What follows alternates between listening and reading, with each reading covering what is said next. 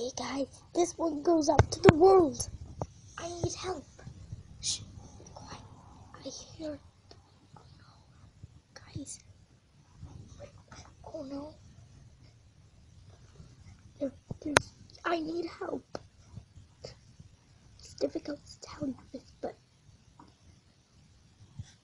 everyone I know is gone, and there's only one pony I know at the moment. The pony I don't want to talk about.